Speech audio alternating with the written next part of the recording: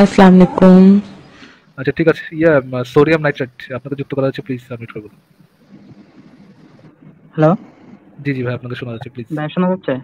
হ্যাঁ ক্লিয়ার ভাইয়া আসলে এর আগে তো আসিফ ভাইয়ের সাথে কথা হয়েছে আপনার সঙ্গে কথা বলার ইচ্ছা ছিল। তো আমি একটা আপনার ভয়েস শোনাবো। ভয়েস বলতে আমি আমার ল্যাপটপে ওয়াচটা প্লে করতেছি আর আমি মানে ফোন দিয়ে আপনারা শোনাচ্ছি জাস্ট শুনেন। শুনতে পেলে প্লিজ বলবেন। চিকিৎসা বিজ্ঞানের জনক হচ্ছে আবুল কাসেম জাহরাবি। আমরা জানি দোষী নাই দোষী না আবুল কাসেম জাহরাবি যিনি চিকিৎসা বিজ্ঞানের উপর তিরিশ ঘণ্টা বই লিখেছেন আচ্ছা ভাই হ্যালো হ্যালো আপনাকে শোনা যাচ্ছে ভাই ভাইয়া যে ভয়েসটা শোনালাম শুনতে পেয়েছেন? হ্যাঁ হ্যাঁ শোনা যাচ্ছে। তো সেটাতে আমাদের আহ, আমাদের ডক্টর সোনাগাছি সাহেবের ইয়েটা না? ভয়েস নাও না?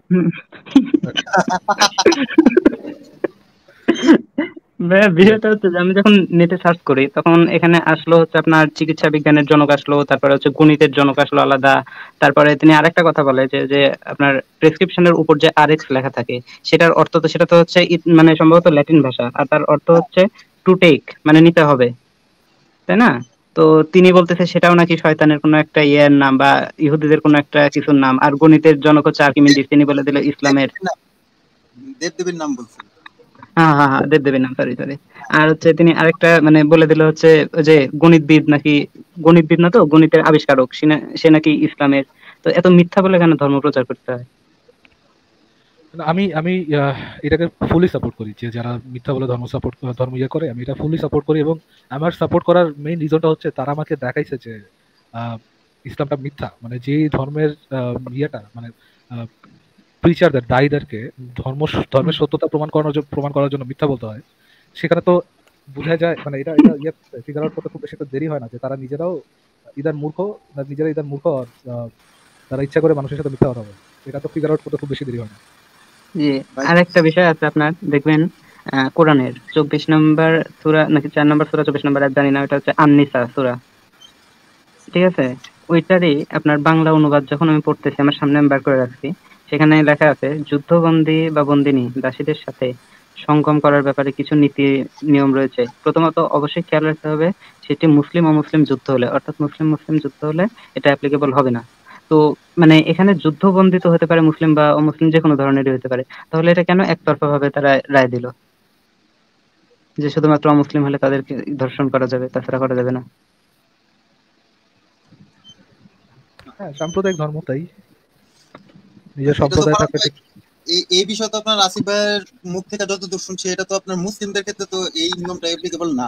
কোনো মুসলিম নাই ক্ষেত্রে এটা তো কাফের হ্যাঁ, applicable। উনি তো তাই বলল যে মুসলিমদেরকে করা যাবে না অমুসলিমদেরকে হ্যাঁ। দাসী বানানো যাবে অথচ উনিশশো একাত্তর সালে যখন যুদ্ধ হয় হ্যাঁ, হ্যাঁ, এটা নিয়ে এটা নিয়ে আসিফ ভাইয়ের একটা ভিডিও আছে বলা আছে। যে একাত্তর না, সালে এটা- যে- কিন্তু এটা ফতোয়া দিছিল আমাদের কি? হম ফতোয়া নাকি মানে হিন্দুদের আছে হ্যাঁ কিন্তু তারা হিন্দু কালচার অনুসরণ করে তাই তাদের জন্য এটা জায়েজ তারা এটা গুণমতের মান।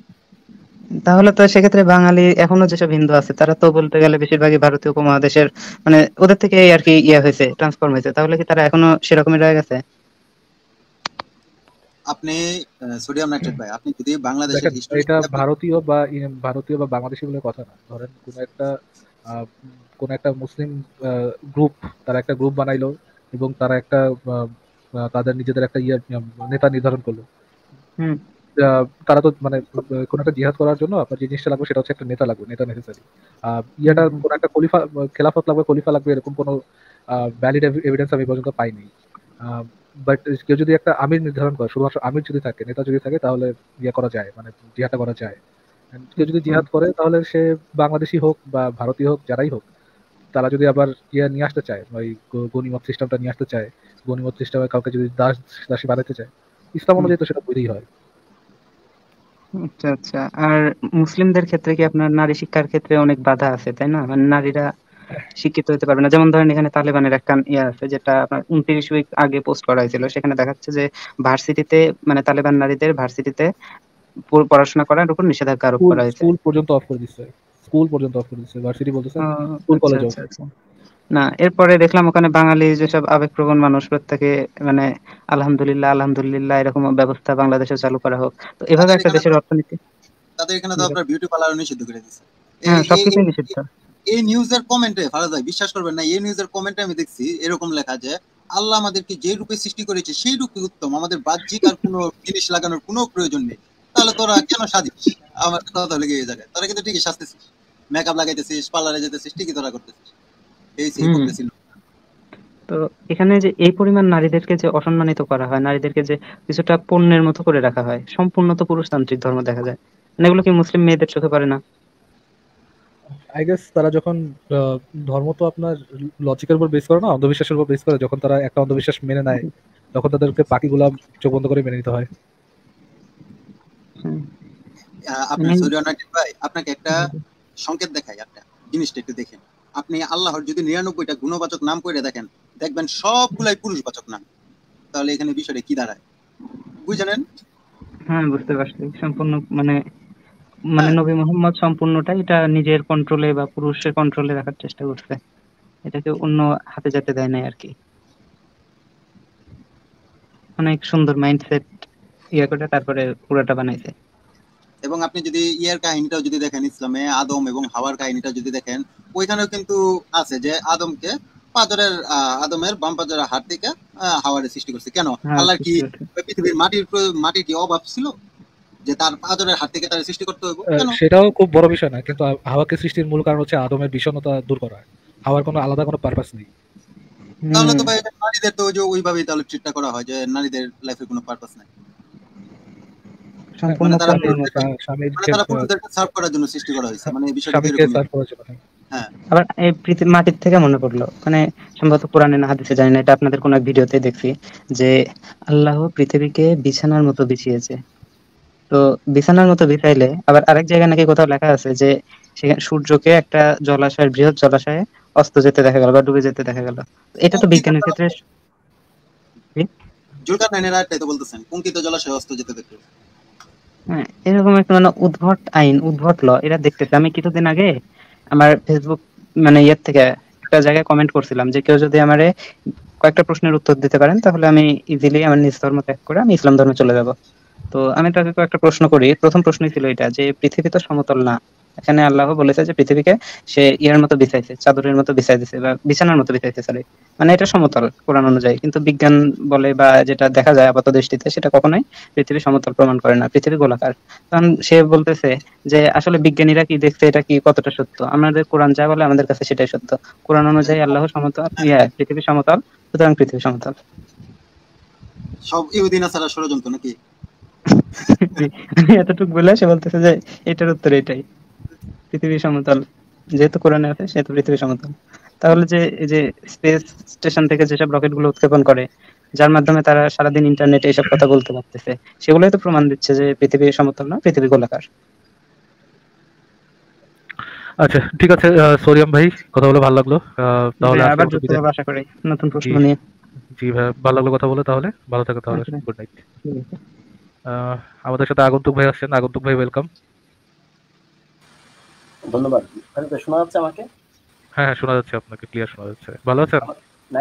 জি ভালো আছে। আশা করি আপনিও ভালো আছেন। আমার নাইনটি পার্সেন্ট শোনা যায় না। আমাদের আচ্ছা, লাইভে আচ্ছা। আমরা ই করতে পারি না। লাইভটা ঠিক মতো করতে পারি না। হুজুরের নেটওয়ার্কের সমস্যা আমার নেটওয়ার্ক সমস্যা। ভালো আছেন আগন্তুক ভাই? জি জি জি। আশা করি আপনিও ভালো আছেন। জি ভাই। আচ্ছা ভাই আচ্ছা, তাহলে? একটা নিউজ একটা নিউজ আপনার হুজুর আমাকে শেয়ার করছেন নিউজটাকে আপনি দেখছেন? সেটা হলো যে আপনার এই যে পাকিস্তানে এক তরুণী তার ফাদারকে বিয়ে করছে এরকম একটা বিষয়। দেখছেন কি নিউজটাকে আপনার নজরে আসছে? না আমি তো দেখিনি।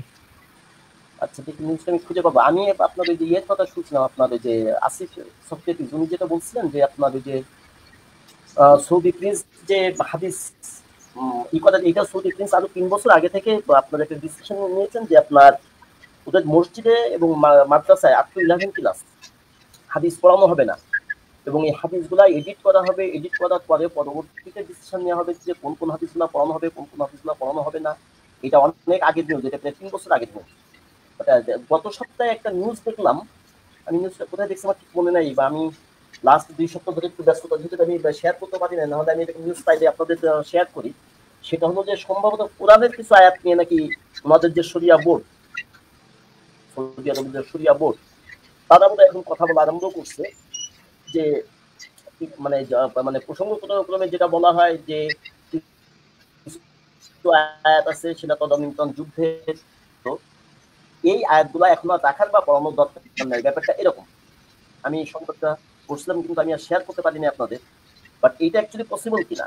দেখেন, দুইটা জিনিস। প্রথমত হলো যে, আপনার যদি আপনি সরিয়া আইনের কথা চিন্তা করেন, তাহলে ফিকার শাস্ত্র কিন্তু পুরাটাই হলো হাদিস নির্ভর। একদম পুরাটাই হাদিস নির্ভর যদি হাদিস সংশোধন করা হয় এডিট করা হয়, তাহলে কিন্তু ফিকার শাস্ত্র নিয়ে কাজ করতে পারবে না। আর যদি বলা হয় যে কোরআন এডিট করা যাবে বা কোরআন এডিট করা হবে, তাহলে তো আর মুসলমানরা মুসলমানদের মুসলমানিত্ব রাখতে পারবে না। কারণ মাক্কি যেগুলো আছে, সেখানে তো খুব স্পষ্ট করেই বলা আছে যে এটা অপরিবর্তনীয়, এটা পরিবর্তন করার কোনো মালিক নাই। পরিবর্তন করার মালিক তৈরি হয়ে গেলে তো আপনার মোহাম্মদ বিন সালমান সে নিজেই তো আপনার সৃষ্টিকর্তা হয়ে যাবে। তো তখন মুসলমানদের দাবি করার মতো ইস্যুটা কি থাকবে? কারণ আপনি এই যে একটু আগে যে ভদ্রলোক বলছিল যে আপনার, যে যদি কেউ তাদের বুঝাইতে পারে বা উনি বোধহয় আপনার সাম্প্রদায়িক কথা নিয়ে আসছিল প্রথমে ইনফ্যাক্ট আপনার যদি আপনি মাদা মানে মাদানী সুরা যেগুলো বলা হয় সুরা বাকারা তাওবা, মাইদা, এই সুরাগুলো পুরাটাই তো সাম্প্রদায়িক সুরা। যে সুরা তাওবা যে আয়াতটা বলা আছে যে আপনার প্রতিবেশী মুশরিক তার পতন করতে এবং জিহাদ জিহাদ মানেই তো হলো আপনার খুন করা। অমুসলিমদের খুন করা উনি বোধহয় আপনার এই যে দাসীদের নিয়ে একটা কথা উঠাইছিল। ইনফ্যাক্ট আপনার জিহাদ যেটা কথা বলা আছে, সেটা শুধু অমুসলিমদের সঙ্গে জিহাদ করার কথা আছে। এবং জিহাদ লব্ধ বা ক্রয়কৃত অমুসলিম দাসী বলা হয়। হয়ে যায় এবং এই আয়াতগুলো যদি না থাকে, তাহলে মুসলমানদের তো কোনো কাজ থাকবে না। কেউ আইএসআই তৈরি করতে পারবে না, কেউ লাদেন হইতে পারবে না। তখন মুসলমানদের অ্যাক্টিভিটিসটা কি হবে?